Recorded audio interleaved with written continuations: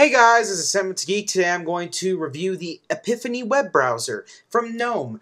Now, I've been toying around with this browser for about a week or two, and I've got to say, it has officially defeated Firefox as my favorite browser. It is the fastest browser I've ever used on the Gecko platform. It is amazingly fast. I have, I mean, it is faster than Safari. I clocked it. And that that is awesome. Like this is the first time I was browsing Newegg and Tiger Direct, and it just popped up instantly. Like no wait time. Like there was a little bit, but not that much at all. Nothing to complain about. Uh, and another great thing about this browser is that all the plugins I usually need, like Flash or Sun, Java, was already installed. I mean, if you already have them installed on your system, there is no need to reinstall the plugins, which I love. I love when a browser does that.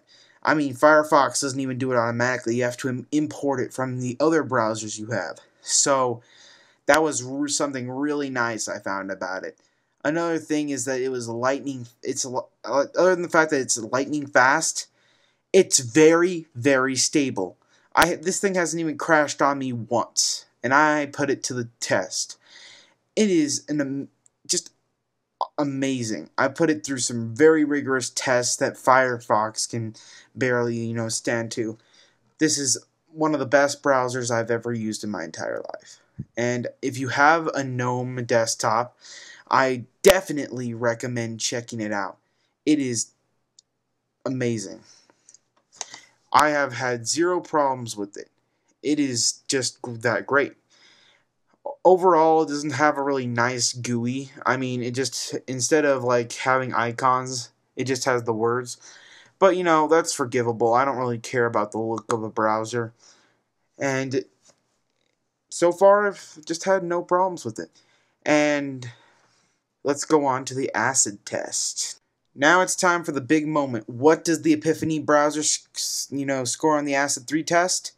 Dun dun dun dun da 71. This is just as high as Firefox and Safari. So, great job, GNOME team. The Epiphany browser is excellent. Seriously, guys, this if you're on a GNOME desktop, this is definitely a Firefox replacement.